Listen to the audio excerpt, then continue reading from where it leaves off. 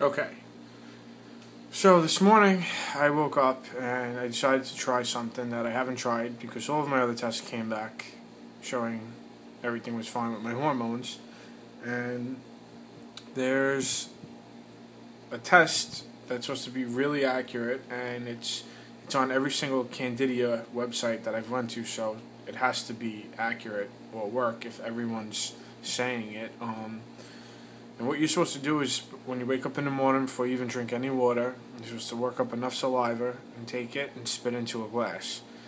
And so normal saliva is supposed to just float on the top with bubbles.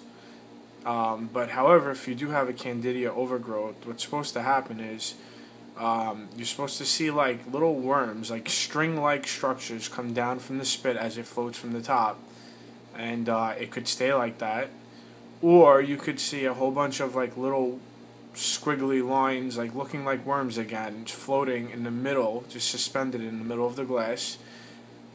And the third way to tell is if it just all falls to the bottom, and uh, I think that's supposed to be if you have a lot you know, in your saliva because it's like it's the yeast is heavier than the saliva or heavier than the water, so it falls. At least that's what I've been told. So um, I woke up this morning and I spit in the glass almost immediately. Within a f- couple of minutes, I saw the string-like structures coming down from my saliva.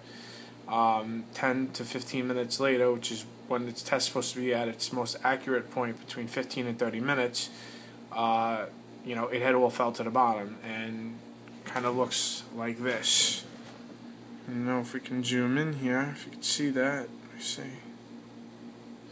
Yeah, so it, it, it looks like little white things of sugar or, like, I can't explain it. But this is, let me see if we can, there you go, look at that. That's the bottom. It looks like powder. I guess that's what yeast looks like, but that was in my saliva, and that's a lot of it. That's just in one. That's I just spit once. You know what I mean? It wasn't even a big spit. I mean, that's that's pretty insane right there. So I mean, it looks like I tested positive, and um, so now I just have to figure out how to get this under control. So, all right. So just wanted to give an update.